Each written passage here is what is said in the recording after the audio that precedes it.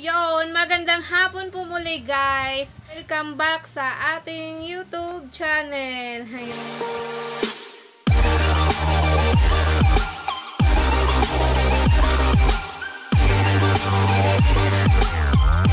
Ayun guys, ah mag maayong hapon sa tanan. Binuang maayong hapon.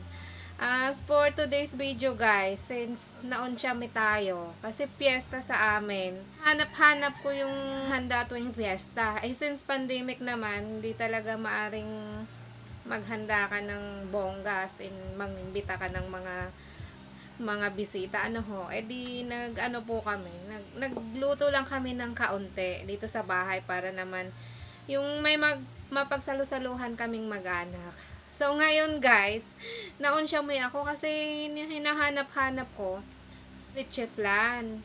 Nakatikim tayo ng leche flan kahapon guys, pero hindi yung swak sa ating lasa. Ako naman, hindi ako, wala sa plano ko, wala akong balak na gumawa nga ng mga matamis pa. Isang ano lang, isang isang matamis lang ang ginawa natin guys, yung buko pandan lang. Eh, pero since ano, parang hindi talaga kumpleto ang piyesta kapag uh, walang matamis ano. Kung may karne, edi meron ding himagas ika nga. So ngayon guys, since mahilig din talagang mga kasama ko dito sa bahay sa mga matamis nga, kung kung may okasyon, talagang hindi nawawala yan dito sa amin. Ngayon, gagawa po tayo ng leche flan. Leche flan ala rose ano, Rose style. oh, rose style. Hindi. rose version pala. Leche flan, rose version. oh, ito guys. Ngayong hapon, mayroon akong sampung egg. Tsaka, gatas na malapot. At tsaka gatas na malabnaw. At tsaka, syempre hindi po nawawala ng, bumili lang ako ng tingi na ano, vanilla para doon yan sa ano mamaya sa hog. At saka itong ating sekreto, yehe, dayap. Uh, mamaya guys, papakita natin sa inyo yung kung paano nilalahok ito sa leche plan ng dayap. Hindi po ito lahat ha, hindi po lahat. Natutunan ko lang din tong pakanang ito eh sa sa aking sister-in-law kasi gumagawa din siya dati nung kami eh, yung hindi pa pandemic, hindi pa rin pandemic ang bulsa, eh gumagawa din siya ng leche flan. So, tinuruan niya tayo kung paano procedure. Ewan ko lang guys kung kaya ko pang gawin. Uh, watch and learn na lang, ika nga. so, proceed na po tayo guys. Papaghiwa-hiwalay na natin yung egg white at saka egg yolk. Marami pong style sa pag paghihiwalay nito. Pero ito po yung natutunan ko guys. Eh, malinis po ang kamay natin, nagugas po tayo sa utang. Yung egg natin, yung sampung egg natin,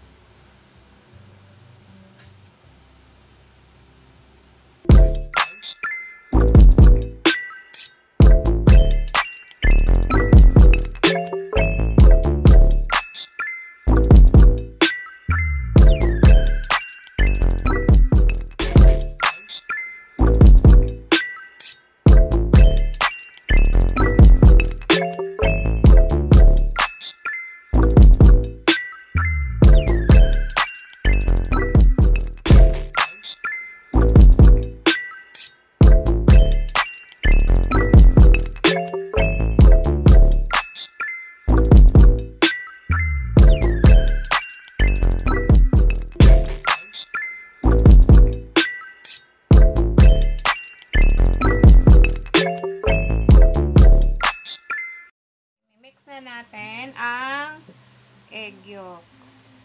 Mas natin siya.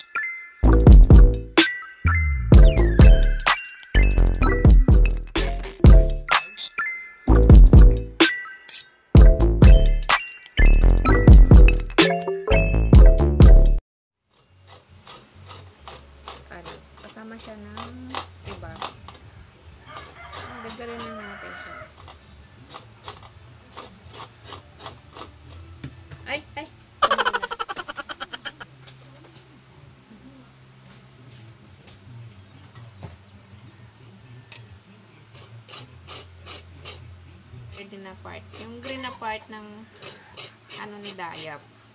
Salamat nga pala sa dalawang pirasong dayap na binigay sa atin ng ating kapitbahay.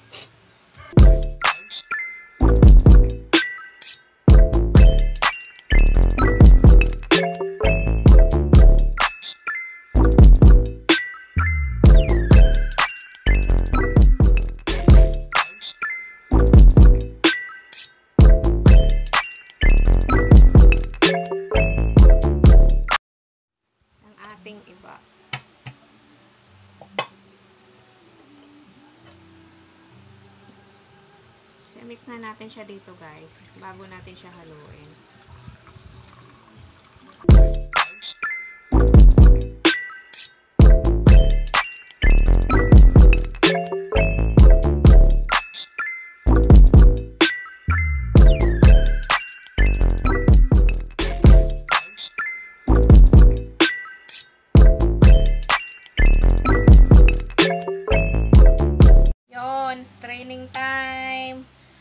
I-strain natin siya para ma ano natin yung mga unwanted na residue. Maalis.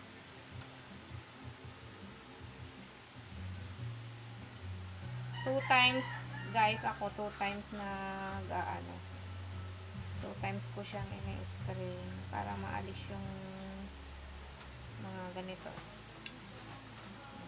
hindi siya ano, sa ano ilatak. So,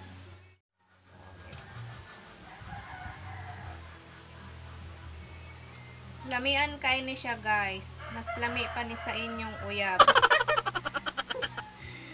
Og mas creamy and smooth pa ni sa inyong mga uyab.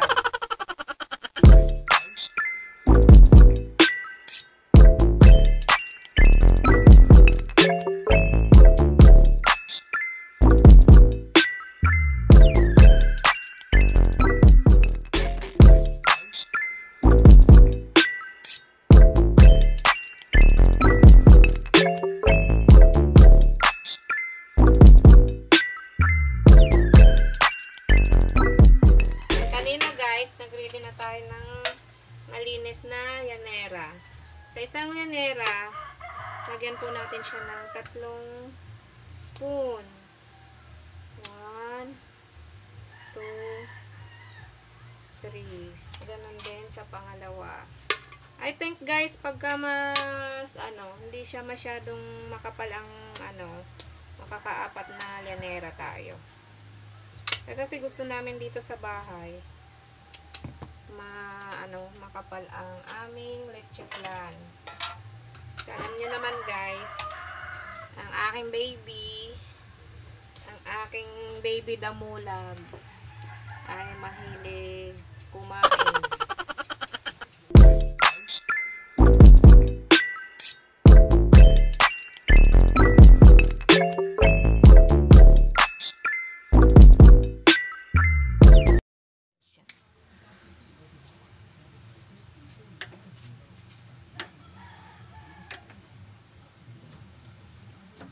Lang natin siya na kumulo. Pero wag siyang masyadong malakas ang apoy kasi pagka ganun, nasusunog bigla ang ating, ay malakas ang ating electric fan.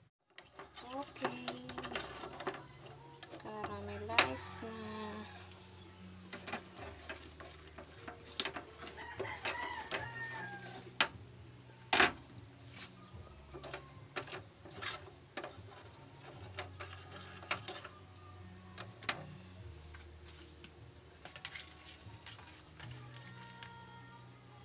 Ayan, papanamigin lang natin.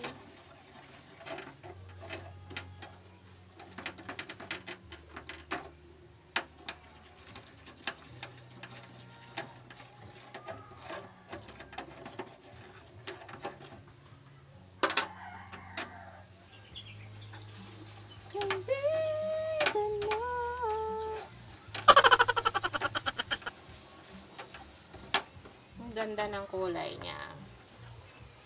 Ay, kita ba? Ayan.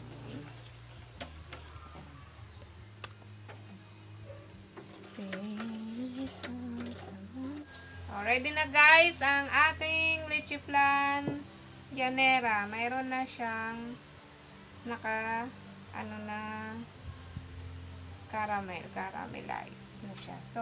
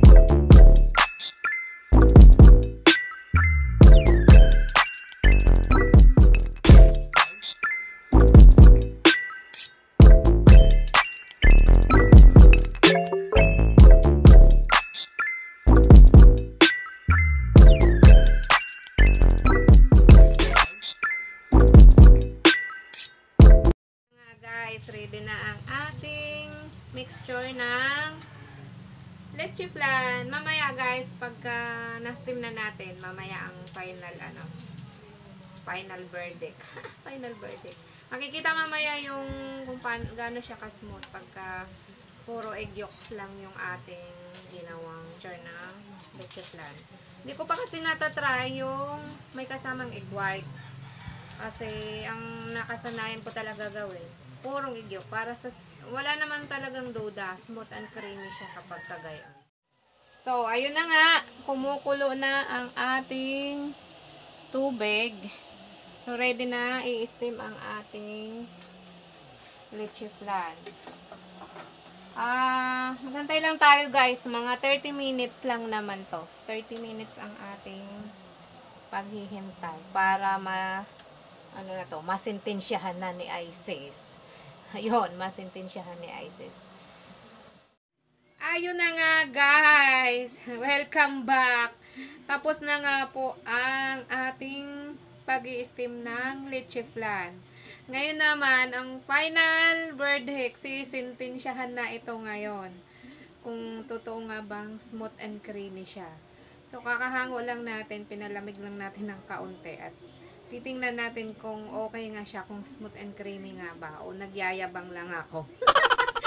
Sige nga po, at ano, titingnan natin kung ito ay maganda nga.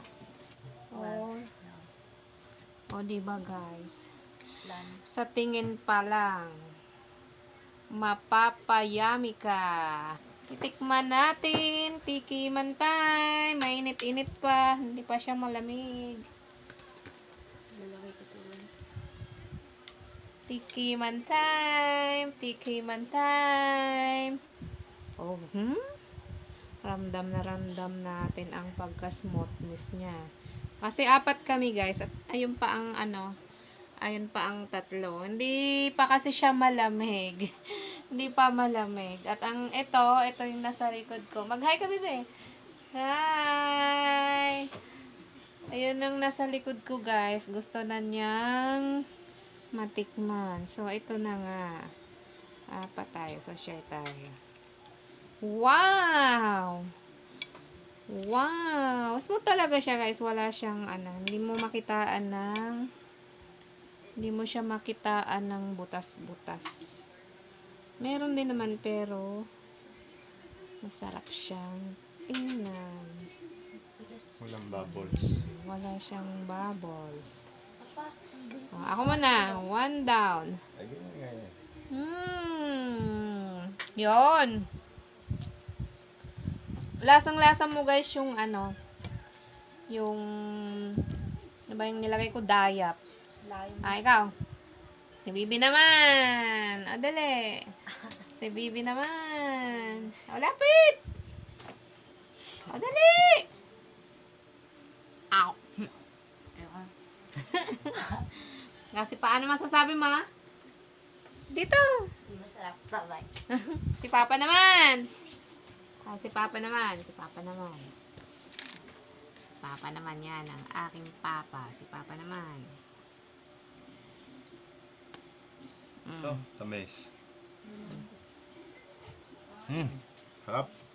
Yan. Di, hindi ka na ma, ano din, hindi ka ma-on siya, may. Na, pwede na pambinta. Tsaka naman, guys, hindi na sayang yung ating, ano, yung ating egg white. 'Di ba may egg white? Siniparate natin siya. Nilagyan naman natin siya ng ampalaya. So, let's do it, guys. Maghahaponan na kami. Salamat. Thank you for watching. Thank you for watching, guys, sa ating vlog for today. Sal- sana, ano, may nakuha kayong formasyon at saka, ano, ano na rin, tips na rin para sa paggawa ng smooth and creamy leche flan. Yung- Sa mga friend ko dyan, palambing naman po ng subscribe. Pag gusto nyo naman ng video ko, i-like nyo na rin po, i-share nyo na rin po para ano, pa-click din ng notification bell para ma-update kayo sa next video natin. Salamat guys! Salamat! Thank you!